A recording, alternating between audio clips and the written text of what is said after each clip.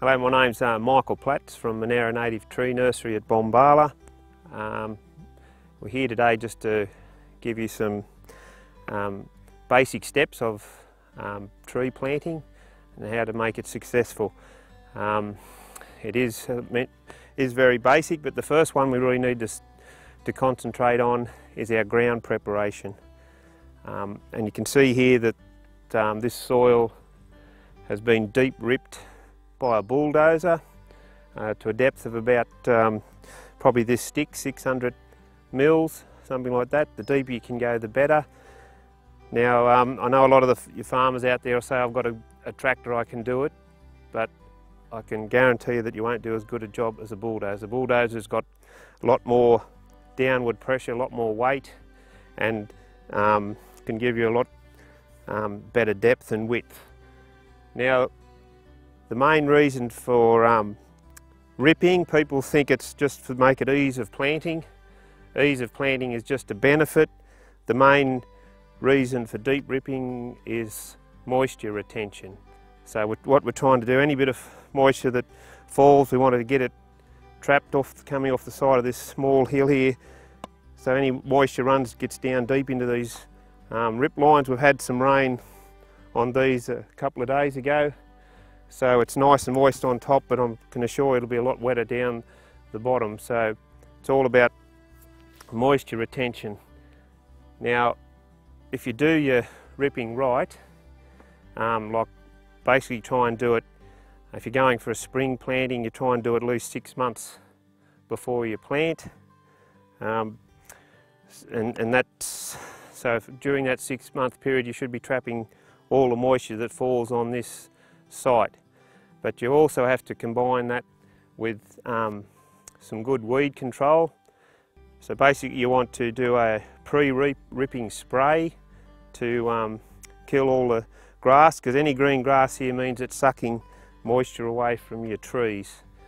So you know, we've done a pre-spray here and um, we've actually done, now sort of coming time to plant, we've done a pre-planting spray. That's with just a knockdown spray and a residual spray. Now the residual is a key factor because it'll keep any um, weeds from germinating for the next six months or so from when we plant the tree. Now in most um, cases on farms, good pastures your best thing you can have but when you start putting trees in it's the weed to the, and the tree's the main product. So if you've got any green sort of grass growing on your rip line, it means it's sucking moisture out, which will take the moisture away from your, for your, from your plant. Um, so, you know, how you design your rip lines is um, up to the side a bit, but you've just got to be careful not to um, um, cause any erosion as you're doing it. On this side here, we decided we didn't uh, rip on the contour We've ripped a bit off so it allows um, any excess moisture to run away and not wash your rip lines away. But um, deep ripping essential, it's the, the, the, key factor and it's all about um, getting moisture into your rip lines. That's the main, main aim with it and to keep all the weeds away. And the, the side benefit is um, the planting.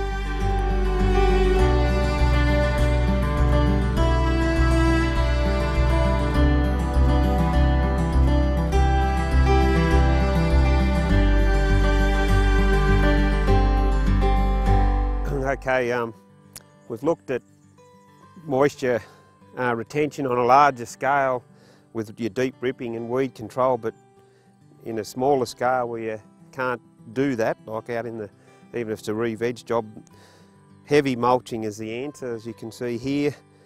Um, same principle, good layer of mulch. This one here is um, a, a pine bark, a heavy pine bark composted. Um, probably about 10 to 15 centimetres thick um, is ideal. But it's the same principle. All you're trying to do is keep that moisture in there and and keep the grass away from your tree because as again the green grass will be sucking your um, the moisture up. Um, the other benefit is especially in the garden situation is you're keeping um, your soil temperature at a constant rate through the through the summer. So the tree um, will really enjoy that without the fluctuations of a real hot day on onto the ground. Um, the other thing is you want to look when looking for a good mulch um, if you're in a high wind area you really want something this like this uh, mulch that's got some good solid particles in it so it's not going to um, blow away on the um, first real windy day but um, yeah people say oh can I put drippers in or water? If, if you can mulch do it properly you'll save a heap of water. Um, you won't have to put infrastructure of, for, of drippers or some other watering system. So it, it definitely is another um, great way to get your trees going. The difference between mulching and not mulching is probably, um, you know, in most trees it'd be, you know, maybe 30 centimetres to a metre's growth difference in a year.